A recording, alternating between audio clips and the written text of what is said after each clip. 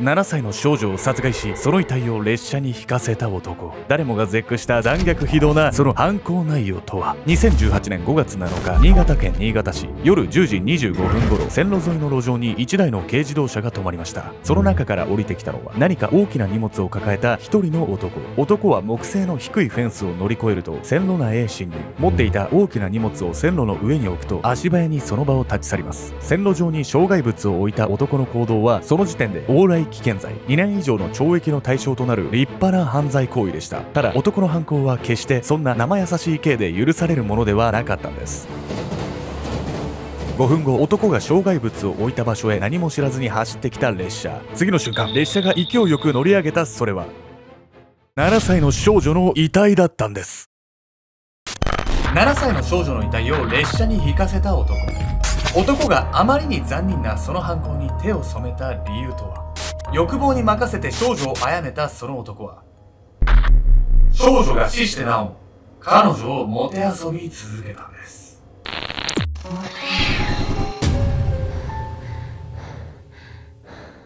おそすけんちゃんです。いやみかみこです。ですですってわけでですね、ヤミノさん。僕最近ね、怪獣12号になったんですよ。一番最新の怪獣じゃないあなた 見たの？怪獣8号。怪獣7号まで見ました。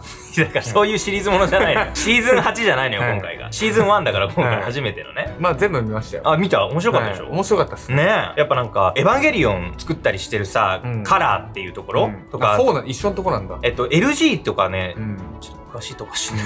なんかさ、なんだろう、オープニングの感じが結構好きだな。あの、幾何学的な感じの。珍しいわよね。なんかうん。アニメーションというよりかは 3D アニメーション。そうそう、なんかネットフリックスの人体実験もののオープニングでありそうな感じ。うんうんうんうん。あの雰囲気とか音楽とかね。であとなんかオープニングとエンディング歌ってる歌手の方がかなり海外で人気のある方みたいよね、あ、そうなんだ。ちょっと私存じ上げなかったんですがなんかちょっと情報を出して自信なくなるのやめてもらっていい？全部そう。自信持ちなさいよ。というわけで皆さんね、怪獣8号をね、ぜひね、見ていただければと。あの、全然 PR 案件じゃないです。普通に面白かったっていうね、話です。本日ご紹介するのは、新潟小児女児殺害事件について。この事件、小学2年生の少女が殺害されただけではなく、犯人が証拠隠滅のため、列車にその少女の遺体をわざと引かせたという残虐極まりない事件なんです。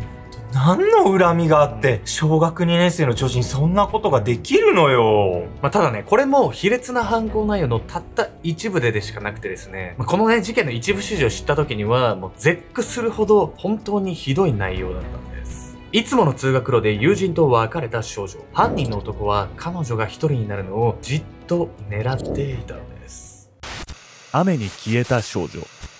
2018年5月7日、新潟県新潟市西区、ゴールデンウィーク明けの月曜日、朝から雨が降り続いていたその日の午後3時20分頃、小学校2年生の A ちゃんはいつものように友人と下校していました。それじゃあバイバイ、また明日ね。自宅付近の曲がり角まで来たところで友人に別れを告げた A ちゃん。そこから A ちゃんは家族が待つ自宅までのわずかな距離を一人で歩き出したんです。そんな A ちゃんの背後には、彼女に向かいゆっくりと距離を詰める1台の軽自動車が、運転席の男は傘を差して歩く A ちゃんの後ろ姿を食い入るように見つめていました。それから40分後の午後4時、A ちゃんの自宅の玄関先で不安げな表情を浮かべていたのは A ちゃんの母親。おかしいわね。そう、自宅へ向かって歩みを進めていたはずの A ちゃんは、その時間になっても帰ってきていませんでした。母親はすぐに学校へ連絡しますが、A ちゃんはとっくに下校した後、近隣を探しても彼女はどこにも見当たらず、家族は捜索願いを提出。その後も家族は必死に A ちゃんの行きそうな場所を探しますが、手がかりさえ見つからず、無情にも時間だけが過ぎていったんです。つけてた男が連れ去ったってことでしょ？そういうことこうなったら両親も気が気じゃないわよこの後ね、A ちゃんは警察のね、親も予想できない場所で見つかったんです。A ちゃんが行方不明になった5月7日の夜10時半頃 JR 小針駅を1台の列車が発進。それから500メートルほど走った地点で列車は何か大きなものに乗り上げる衝撃とともに鈍い音を響かせます。列車はすぐに運行を停止し原因究明が急がれました。すると列車が通り過ぎたその線路の上には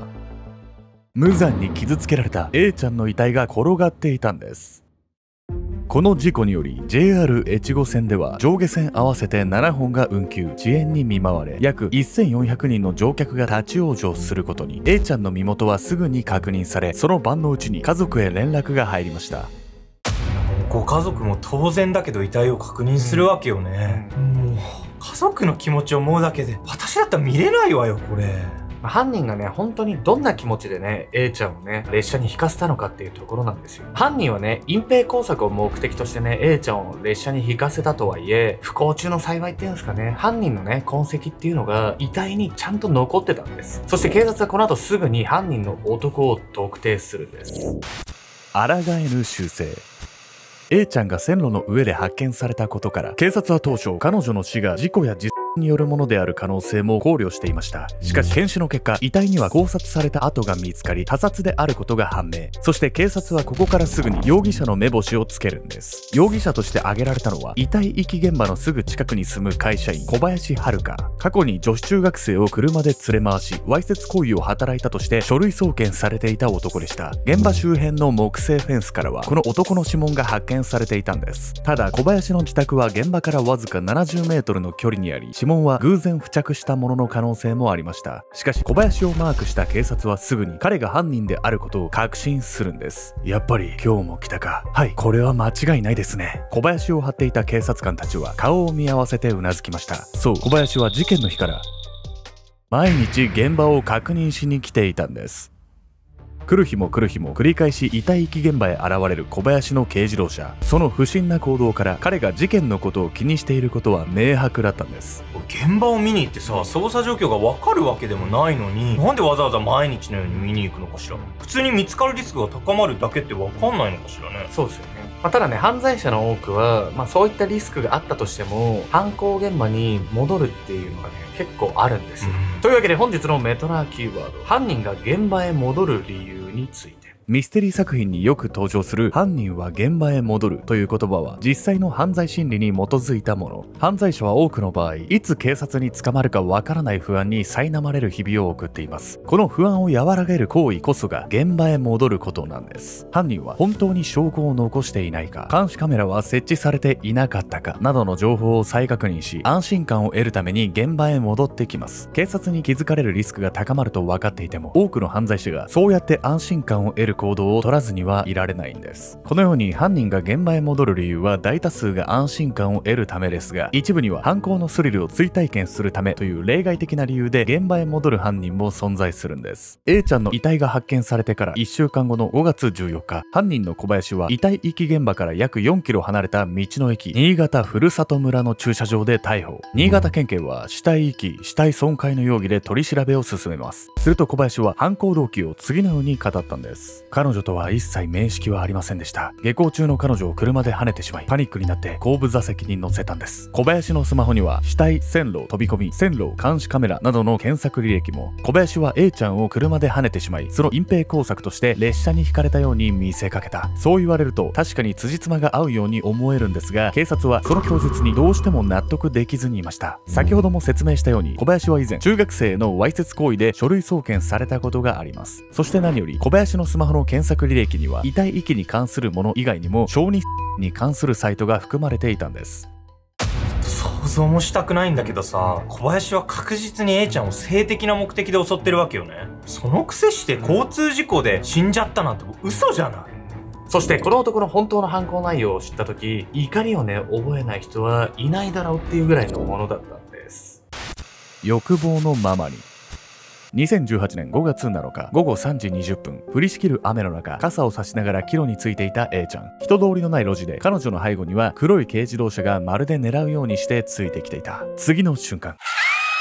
A ちゃんの背中に勢いよく追突した軽自動車。反動で A ちゃんが転んだのを見ると運転席からその男が姿を現した。そう軽自動車を運転していたのは小林だった。痛い。